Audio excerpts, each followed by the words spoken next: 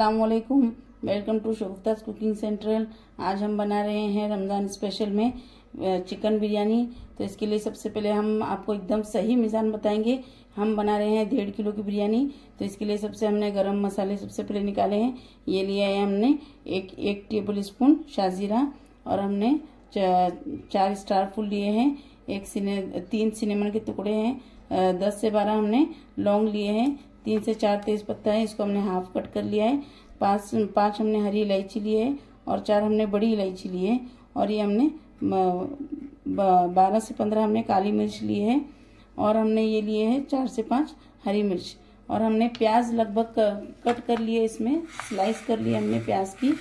तो हमने ये प्याज लिया है डेढ़ किलो बिरयानी के लिए हमने सवा किलो प्याज का मिजान रखा है। आप इस बात का ज़रूर ध्यान रखें ताकि इससे बिरयानी में आपकी ग्रेवी बहुत ही बढ़िया बने। इसमें मसाला हो सूखी सूखी सूखी वाली बिरयानी कोई ज़्यादा पसंद नहीं करता।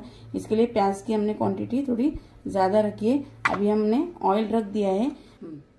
हमने तीन किलो हमने डेढ़ किलो बिरयानी के लिए हमने सबसे पहले ऑयल लिया है हमने दो सौ पचास एम यानी पाव किलो और उसके ऊपर हमने 125 एम और एक्स्ट्रा लिया है। एक किलो के लिए हमने 250 एम लिया है और आधा किलो के लिए हमने 125 एम लिया है। हमने ये, हमने जो ऑयल है, हमने इसमें थोड़ी सी ब्रिस्ता तल की निकाल दिया था। इसके लिए हमारा तेल का कलर थोड़ा सा चेंज हो गया है।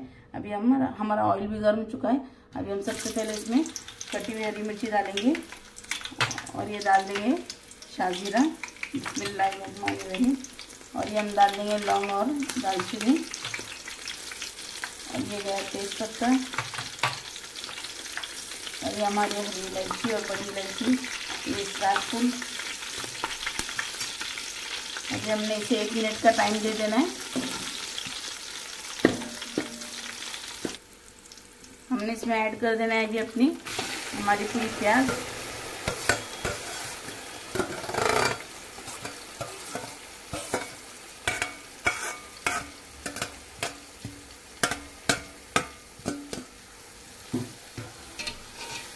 ये आपको प्याज दिखने में अभी फ़िलहाल तो बहुत ज़्यादा दिख रही है, लेकिन जब पूरी तरह से ये हमारी प्याज फ्राई हो जाएँगी तो आपको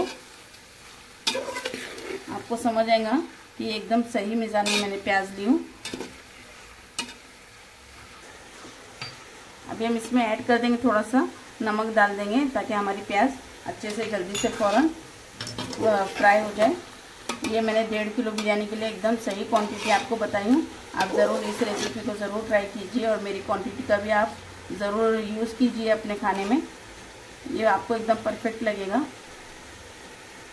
अभी हमने इसको थोड़ा सा ढक देना है। ये हमने सवा किलो चिकन लिया है। इसको हमने अच्छी तरह से साफ़ कर लिया है। अगर आपके पास लेग पीस हो, आप आप ना इस तरह से कट लगा दीजिए ताकि इसमें अच्छी तरह से मसाला ऑब्ज़र्व हो जाए। अभी हमने सबसे पहले मसाले निकाल लिए हैं। हमने लिया है एक कप दही और हमने लिया है एक एक टेबल स्पून हमने नमक लिया है। दो टेबल स्पून हमने लाल मिर्च पाउडर लिए दो टेबल स्पून हमने कोरिएंडर पाउडर लिया है। हमने दो टेबल स्पून हमने गरम मसाला पाउडर लिया है और एक टेबल स्पून हमने लिया है टर्मरिक पाउडर। तो ये सबसे पहले हम मसाले इसमें ऐड कर देंगे। हमने सब मसाले इसमें ऐड कर देने। हैं अगर आपके पास टाइम है तो अगर आप इसमें ऐड करके थोड़ा सा रेस्ट करने के लिए रख दें, इससे आपके पीसेस में बहुत ही बढ़िया टेस्ट आएगा। अगर आपके पास अगर टाइम टाइम नहीं है तो आप डायरेक्ट प्याज वगैरह में भी डाल सकते हैं आपकी प्याज फ्राई होने के बाद। अभी हमारी जब तक प्याज फ्राई हो रही है तो जब तक हमने ये, इसको मसाले लगा के रख देनी है। और अभी हमने इसमें लिया है एक मुट्ठी पुदीना लिया है, और हमने लिया है फ्रेश कोरिएंडर और हमने लिए कसूरी मेथी। ये भी हम इसमें पीसेस में चिकन में ऐड कर देंगे।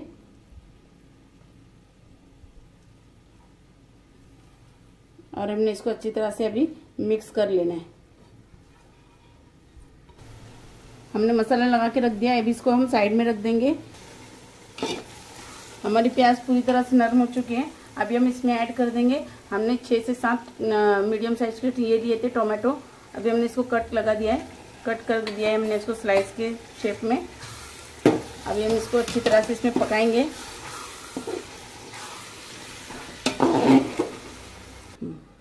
ये हमने डेढ़ किलो चावल ले लिए ये हमने बिरयानी का राइस लिया है।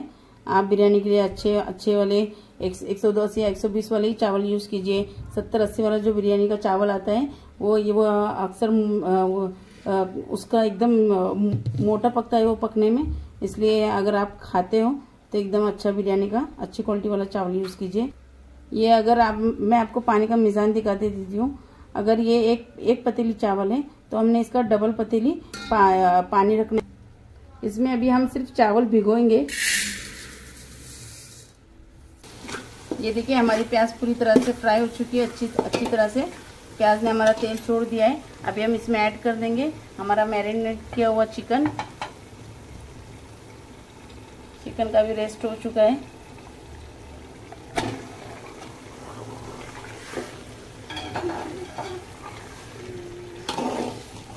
हमने इसको अच्छी तरह से मिक्स कर देना है पूरा।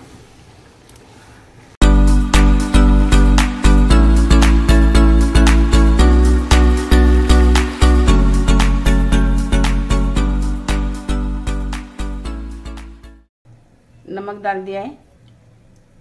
क्योंकि हमारा चिकन में हमने हमने चिकन मैरिनेट करते समय हमने चिकन में भी नमक डाला था और प्याज फ्राई करते समय अभी हमने प्याज में भी नमक डाला था। तो आप नमक अपने टेस्ट के अकॉर्डिंग ही डालें। हमने इसे बीच बीच में चेक करते जाना चाहिए और हमने इसमें एक डंडी लगा लेनी चाहिए ताकि इसमें बॉटम में लगे नहीं। इस बात का ध्यान रखिए हम हमारे पानी में बॉईल आ चुका है। हमने चावल को स्ट्रेन करके अभी हमने इसमें डालना है। आप एक बात का ध्यान ज़रूर रखें, जब आपका पानी बॉईल हो जाए, तभी आप चावल को स्ट्रेन कीजिए। अगर आप पहले से अगर स्ट्रेन करके रखते हैं तो आपका चावल टूट सकता है। इस बात का आप ज़रूर ध्यान रखिए। अभी हमने चावल को पकाना कितना है, मैं आपको दिखाऊँगी। हमने चावल को फास्ट फ्लेम पर ही पकाना है और हमने 80 से 85 परसेंट पकाना है। 15 पंद्रह परसेंट हमने इसे, इसमें कनी रखनी है। ताकि हमारा मसाले के जो ऊपर जब हम डाले तो ये अच्छी तरह से पक जाए। हमने इसमें बार बार डंडी नहीं लगानी है। ये देखिए, हमारा मसाले भी पूरी तरह से तैयार हो चुका है। हमारे पीसेस भी बहुत अच्छी तरह से हमारा चिकन भी पक चुका है। बहुत ही बढ़िया ग्रेवी और कलर आया है हमारे ग्रेवी में। अभी हम टेस्ट नहीं कर सकते इसे। ये देखिए, हमारा चावल 80 परसेंट पक चुका है। अभी हम इसमें, अभी इसे हम पाँच परसेंट सिर्फ़ हमने इसे और पकाना है। फिर हमने स्ट्रेन करके हमने हमारे मसाले के ऊपर डाल देना है। हमारा मसाला भी पूरी अच्छी तरह से पक चुका है। अभी हम इसकी बोटियों को बराबर पीसेस को हमने इसको सेट कर देना है, ताकि आपकी पीसेस एक तरफ़ ना हो।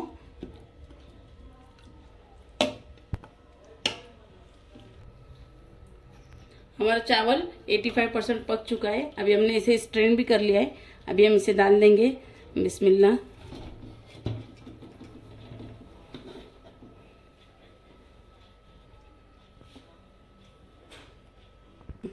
हमने इतना बटर का टुकड़ा लेना है। हमने इसके चारों बाजू से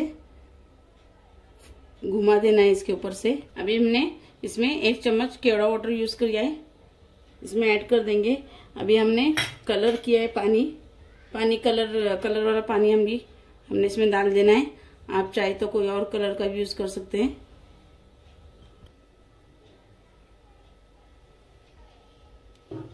अभी हमने अभी हमने इसमें झाककर रख देना है, अच्छी तरह से ढककर। 10 10 मिनट तक हमने मीडियम फ्लेम पे रख देना है इसको। हमने नीचे पतीले के नीचे अभी हमने इसमें रख दिया था तवा। तवा लगा के रखना है ना तो आपके बॉटम में मसाला जल सकता है। आप इस बात का ध्यान रखिए। जब आपकी चावल के ऊपर अगर भाप आ जाती है तो आपने चावल फ्लेम को बंद कर देना है।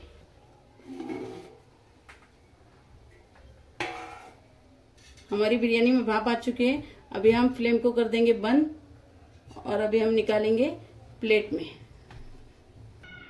हमारी दम बिरयानी तैयार हो चुकी है। अभी हम इसमें, हमने जो प्याज का बिरिस्ता बनाया था, हम इसमें डाल देंगे। बहुत ही माशाल्लाह परफेक्ट तैयार हो चुकी है।